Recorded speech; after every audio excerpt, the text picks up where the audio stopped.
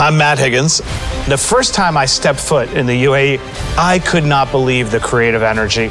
And so when I got an opportunity to be on Shark Tank Dubai, it made all the sense in the world. مليون ونص dirham, 4 million dirham 500,000 dirhams. You're about to lose a deal in about 30 seconds.